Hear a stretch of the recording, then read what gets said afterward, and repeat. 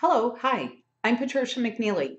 I'm a Blue Ray twin flame from Chicago, Illinois, a real genuine Blue Ray.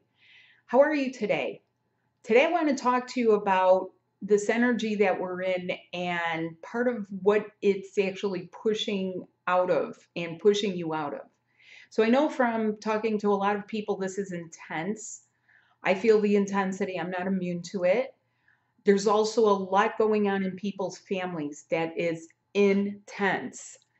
And it's a little bit confusing too, and people are seeing little flare ups here and there.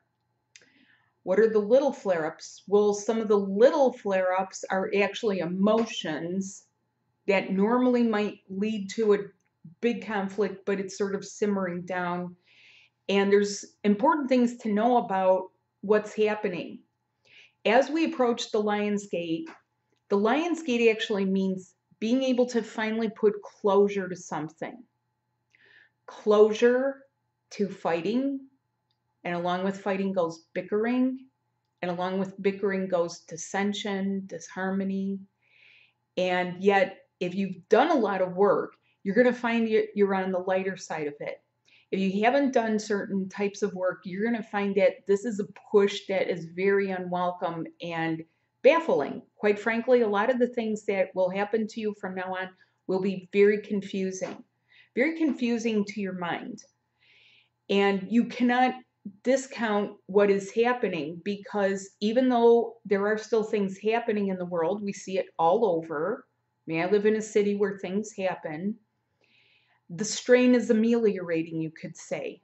There's another nice French word we've borrowed here into English ameliorate.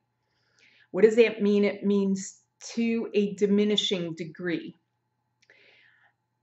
The things that run in people's families. So that is actually what is going on here.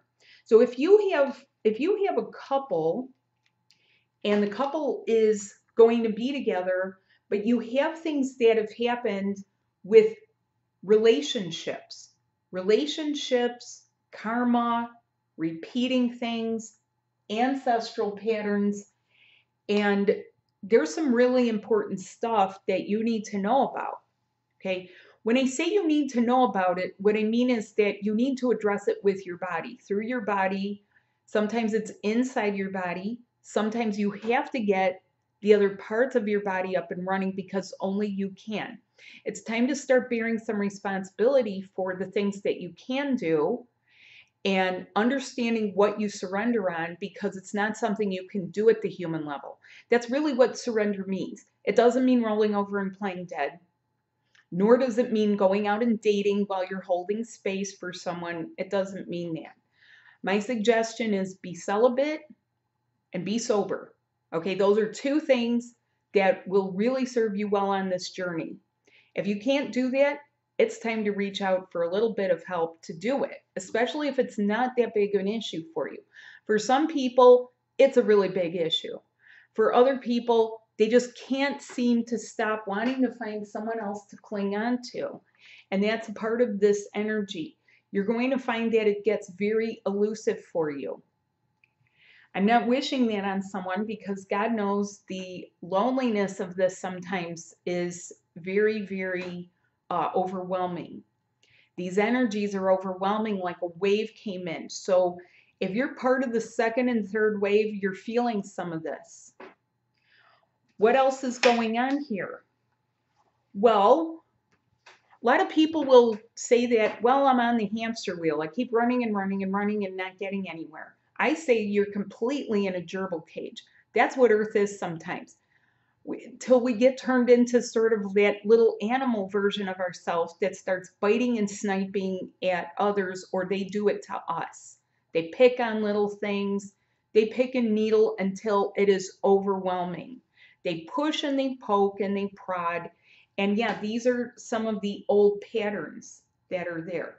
That runs in my family. My grandmother didn't have, my great grandmother didn't have television. You know what she liked to do? She liked to bait her sons. Well, one of those sons was my grandfather, and it stayed with him. And that's on the Slavic side of the family. So there's some, you know, pretty stubborn mindsets there that have had to be overcome. But what else does it do? it can make the physical body sick. If you're harboring resentments, if you hold grudges, if you are exhibiting certain patterns of behavior with friends, with someone that you claim to love or they claim to love you. Okay, there's a lot being made about people thinking they found a solution because they found one word, and that word is narcissist. Okay, narcissist is being used to sum up a lot of things, but it is not a catch all for everything, and nor is, is it a solution. Just labeling something isn't giving a solution for how do you get out of it. Sure, your body doesn't want to be there. And in the old way, you'd be stuck. That is what this closure with the Lion's Gate is enabling you to do is to finally close it out. But you bear responsibility in that. So part of this, and I say masculine and feminine relations because this does not just mean just men and women. It can mean lesbians, it can mean gay men, it can mean trans people. Okay, and a lot of people will go down the line, you know, they, they, they, they, LGBTIQ, Q, Q, Q, Q, they, they, they, they. It doesn't matter. If you're an angelic, you can label yourself all you want, but the fact of the matter is the relationship patterns might still be in you okay? And you may not like it and maybe even that's a reason for why would you like to get away from things? Why do you not want to follow and stay in a box that someone thinks you should be in? I don't believe people should stay in boxes. So what are we doing here exactly? Well you finally have a time where you're able to shift out of old karma. What is some of the old karma well, the old karma is that stuff where people say, oh, you have to, you know, stay within these confines and do this and what's expected to you. You know what some of the old karmas that a lot of females have? Birthing a baby, or should you give birth, or do you have to give birth, or are you obligated to birth? Or is your biological clock pushing and pushing and pushing and pushing, and it's putting the cart before the horse before your body's really ready for it? Or have you birthed and you're going through some of the relationship issues with your own progeny? Maybe, okay? Because that is a part of shifting out of the old karma and ancestral patterns so that you two can live together. Now remember, twin flames are intended to live together. I am here as a champion of the people who have either never met, met each other in a dream, or you're in a form of separation. I'm here to help you learn how to heart communicate, how to get your body up and running so that you can use your body as the creative part of you, as the part of you that helps you manifest and maintain your life and maintain yourself at a level of health that befits you. That is who I am. I get regularly criticized because people say, well, hey, what are you talking about?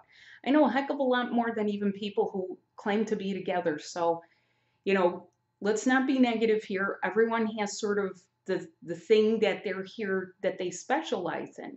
That happens to be what I specialize in is getting people to get their template and integrating the new light body template. This is a template for living while being guided from the fifth dimension. It's very simple, okay? But the process of it and the feel of it is wild. It is just absolutely wild. You're going to bring all those patterns from grandma and grandpa and all your ancestors into your divine marriage? I think not. You and everyone will be throwing some of it away. What else happens in this energy? Well, what happens when people are confined? Okay, let's, you know, you could call Earth a hospital Yes, it's been a hospital where people come to get well. You can call Earth a learning center because, yes, it is a level where we learn or we get a refresher on what not to do or what it's like to be in really 3D environments. It's not your normal. What is your normal? Your normal is to live as an ascended being. And in that sense, everybody here is extraordinary. No matter how ordinary you might think you are. And I get amazed every single time when I talk to someone because you cannot judge a book by its cover. You have to really talk to people and find out how amazing they are. That used to happen when I first started doing sessions. I would get all this information about people, their angelic origins, their planetary origins, their past lives. It still happens. But most people want to know when are we going to be together or what do we have to do to make things better? And so that is where I focus is it's not that I can't tell people those things. In fact, that's a lot of fun. I can tell people the origins of their birthmarks. I can tell them what happened in their past lives. But I'm here to help you build your future. I'm here to help you get those parts of you open so that not only is your future closer, it's actually very easy to maintain.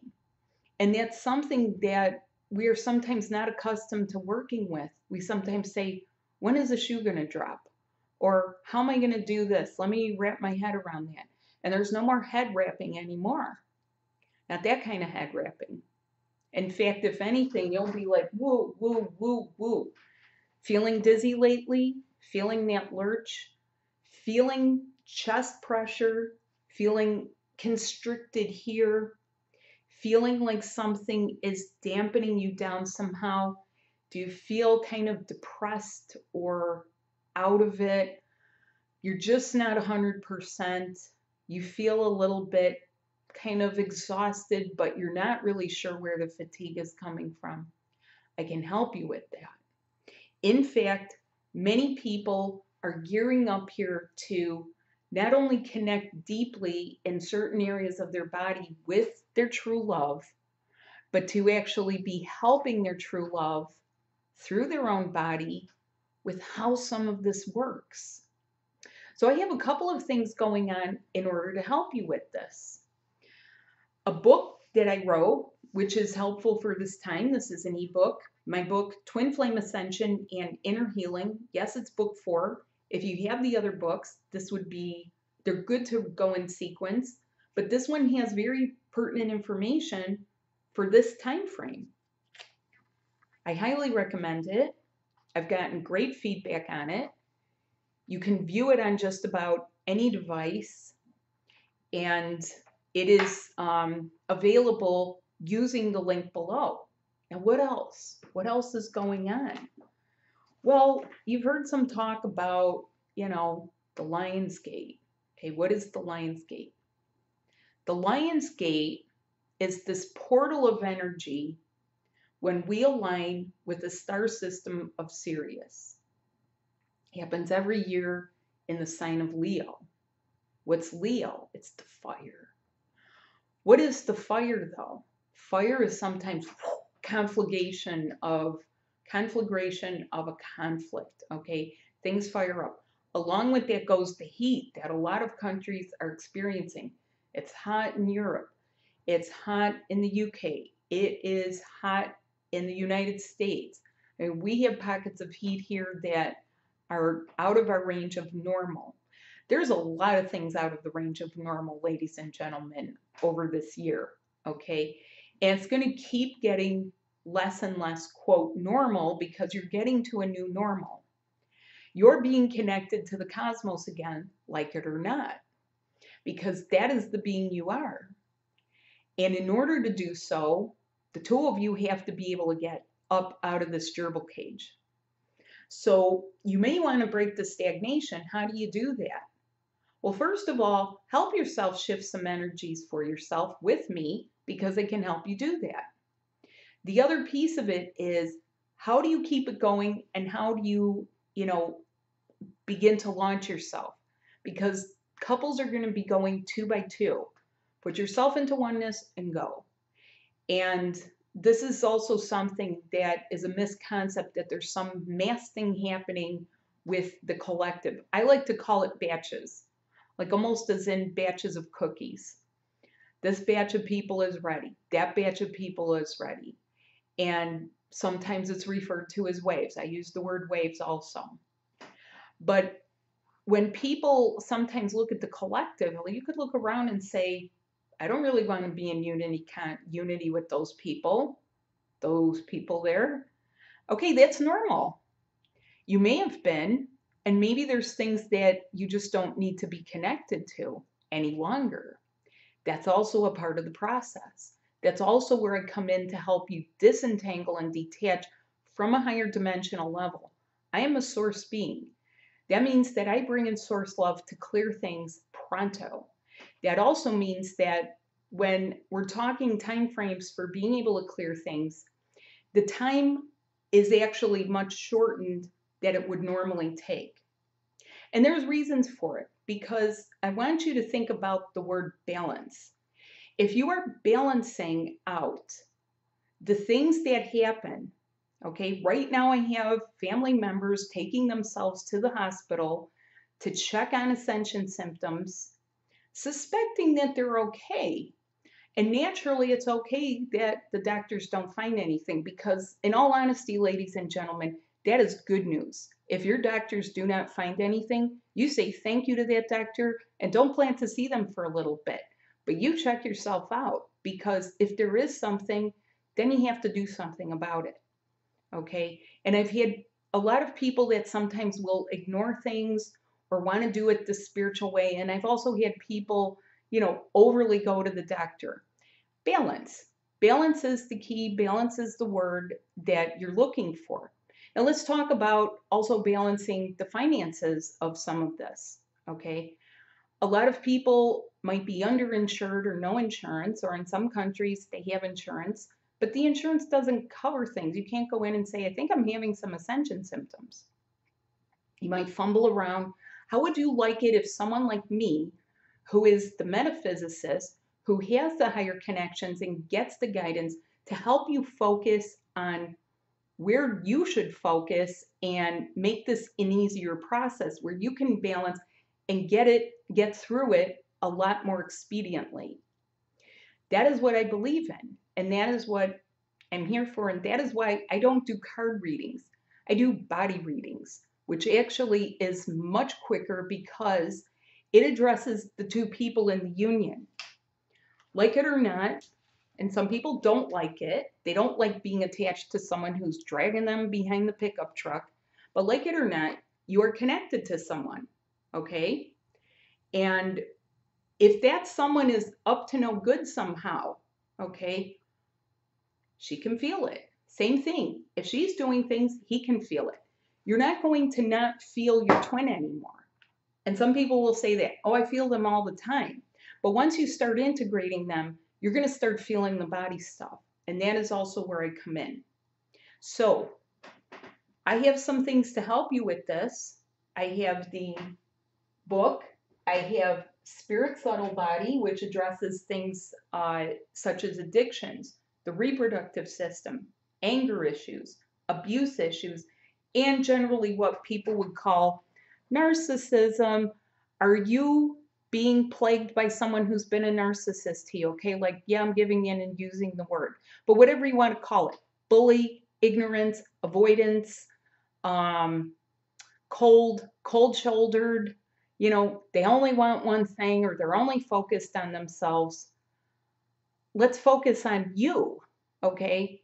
One of the good things that comes about when these things come into the vernacular is that people can identify things and stand up and say, hey, I deserve better. Yes, you deserve better. Now let's take it to the next level because maybe that's not even someone that you should tolerate their stuff. Okay? It reminds me of a song. Sorry. This morning I was listening to the song from uh, South Pacific by Rodgers and Hammerstein. I'm gonna wash that man right out of my hair. I'm gonna wash that man right out of my hair and send him on his way. Ride him off the range, show him what the door is for. Okay, you get the idea, right? I can't sing this whole song, it's copyrighted material. But, anyways, it's a lovely show, it's a lovely song, and it's one of my favorites. It's one of my personal favorites. So, what if she wants to wash this man right out of her hair. How does she do it? Well, you actually have to do it with several areas of your body. You can't just forget someone because then they start popping up. They pop up in your dream. They pop up where you don't want to see them. You start seeing them and you're like, does it mean something that I'm seeing this person? Mm-mm. Not if it's someone who's negative and not if it's someone who's supposed to be in your circle of acquaintance anymore. But how do you not handle this like, oh my God, it popped up again. Boom. Whack-a-mole. Popped up again. Whoa. Popped up again. Why the pop-ups? Why the floating heads that pass along and you're saying, uh, what does that mean? But what does it mean actually? It may mean nothing except you still have some strings to detach. And that is where I come in. That is what I help with. Do you need to check in? Do you have questions on your angelic origins? Your um, you need a follow up? Do you have questions about things? Do you have some specific questions? Are you going through something? Maybe questions about your kids. I actually specialize in that too because I have a child. What was that?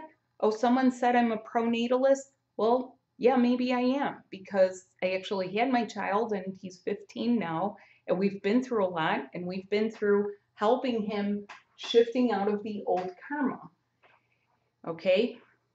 Yeah, children happen. You can't deny them and you have to take responsibility for them. If they're here, if they're here, of course. What if your twin has children? How would you help the kids? Because those kids won't want to have grandma and grandpa's karma. They don't even want your karma they don't they're not here for the a repeat of that same life that you had with all that karmic stuff those are baby twin flames most of the time they're here for the new light body template too how do you help them get them some help get them some maybe non-traditional but very innovative help that will actually help them and i don't even have to talk to the children i can talk to you and find out what's going on and receive some guidance for you. We got through it. And there's things that run in people's families that are, you know, in their ancestry. I'll give you an example, okay? Maybe you've heard of this game Assassin's Creed. Okay? It's about assassins. What if someone in the male lineage has actually been an assassin for a government or for a religious organization. Okay? What if that turns into some bad blood of things that went wrong? Okay, it started with good intentions. Okay, are the children supposed to live up to that stuff or should this too ameliorate out of the genetic strain? Absolutely. And you might say, but I don't do that. But it's karma. Karma's been incurred. That's the thing that people don't understand. In fact, most of the ailments can actually be explained by karma. It's just it's not everyone will um, accept that, so to speak. Now, how do you get your higher channels open? Because you need to do transmutation of this.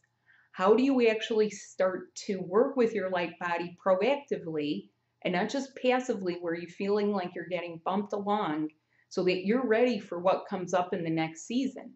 because that's what this Lion's Gate is prepping you for. This is prepping you for next season. For a lot of people, it's going to pop open in 2020 in ways that you aren't even aware of right now. And I mean really wonderful, magical ways. The magic is happening. So the stories you hear this year are going to be very different than what you hear next year. Very, very much like brighter, okay? Just how some people are just um, hearing these words, twin flame, that might start to make sense for them. Other people will hear that next year or find it. What if you were a person that started to learn this? I do have a twin flame body practitioner course designed to help you become a go to person for working with someone's body and helping them with endocrine, reproductive, addiction, some of the same things here. How would you like to help people cut to the chase? It's possible. And we're now in the uh, level of vibration or the higher energy where such things will be possible. But it will be for people that, yes, you have to learn it, okay? And there's people that might seem very natural at this and some people that might feel drawn to it, and that's okay. Not everyone is going to be a healer. You still need people to do the jobs that they feel drawn to. If you look at the link down below, I will also be having a webinar coming up, and the topic of the webinar is abundance.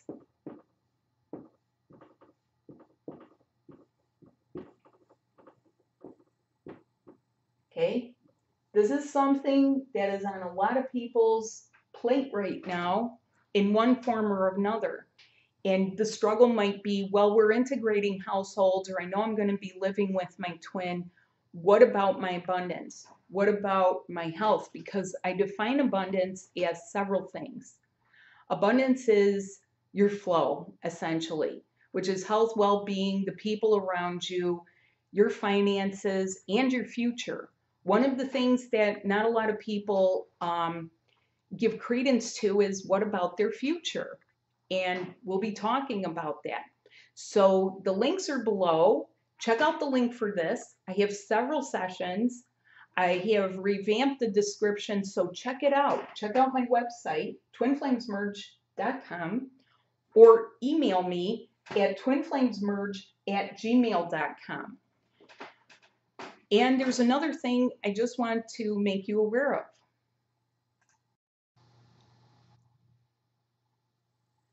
So, as part of my initiative to help you further, as you may know or maybe not know, I also do have a online store and two of the supplements that I want to recommend to you, two herbs that are very helpful in these energies, Pau d'Arco, okay, and this is very good. It's what I privately call the get rid of people herb, but it works with your spleen, it works with your blood quality, it works to help sift out a lot of connections that you really don't want. And those are those are more the metaphysical aspects of it that I'm talking about. There are actually medicinal aspects to it too. And milk thistle. This is a double strength milk thistle. This is to help you with mood, anger, detox, emotional detox. I mean, that's a big thing for a lot of people. They just don't know what to do with it.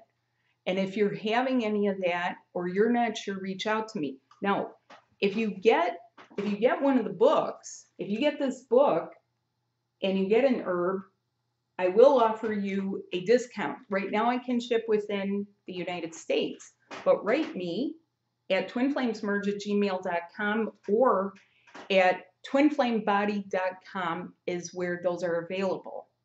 Thanks so much for watching and reach out to me. I can help quite a bit. This is the fourth intense Lionsgate I'm going through, and believe me, I know it well. Thanks so much and masculine feminine relations don't forget about that that's a real kicker a real kick in the rubber parts as they say but doesn't have to be okay so thanks so much. Bye now